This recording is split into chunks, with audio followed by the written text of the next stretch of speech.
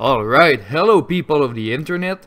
Let me show you how to install and play Dark Souls 1 in 4K 60 FPS.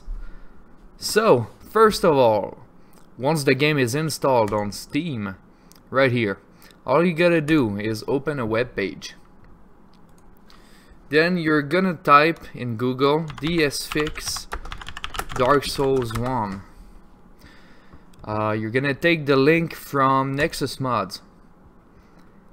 Going to click on download manual. Uh, I think for that you need an account. So if you don't have any, just create an account. It's quite simple. And anyway, you need that uh, Nexus Mod Manager to do it, to achieve the mods. So uh, just create an account, then download DSFix uh, 2.4 so you just click on download manually right here.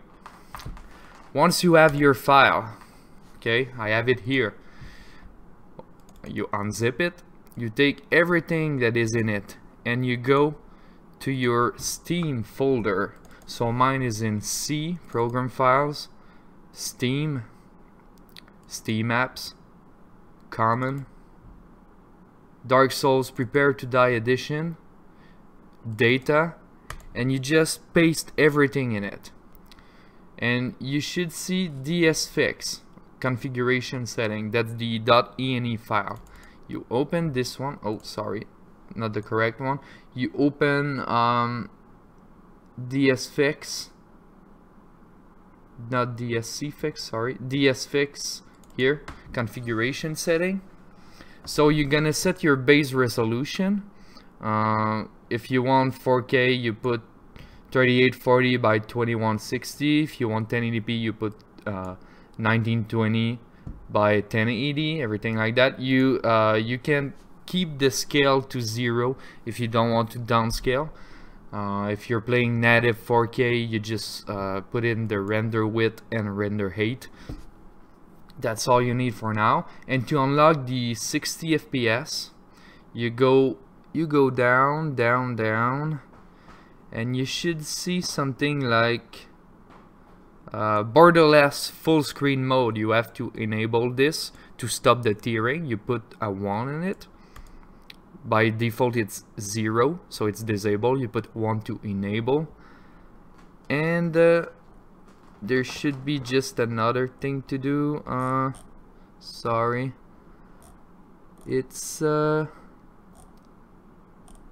Ah, okay. So unlock FPS. So if you don't find it, just do Control F. You put unlock. So it should give, it should take you to the unlock FPS. So uh, unlock the frame rate right here. Unlock FPS. By default, it's zero. You put it to one, and then file and save or Control S I think.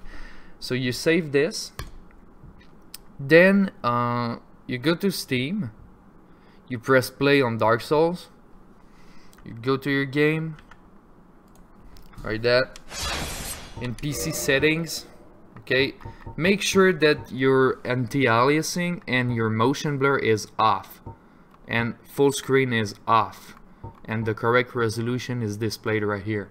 Because if you don't put this to off the screen will appear uh, the game the engine will will appear like a, a quarter or maybe a third of your screen. But your HUD will appear full screen. It's really weird. It's a really weird bug but it works like that. Once that's done you just load your game